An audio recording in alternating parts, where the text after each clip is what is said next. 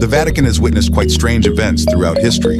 For example, in 897 AD, Pope Stephen VI wanted to put his predecessor, Pope Formosus, on trial. You may think there is nothing unusual about this.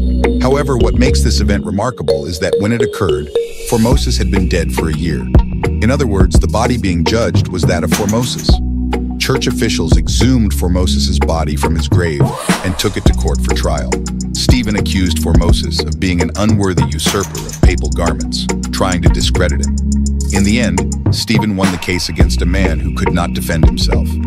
The officials cut off three fingers of Formosus before throwing his decaying body into the Tiber River. When we said there are interesting historical stories in this list, we were not joking. Even though this is just the first story, probably already exclaimed, no way. Feel free to follow the channel and show your support.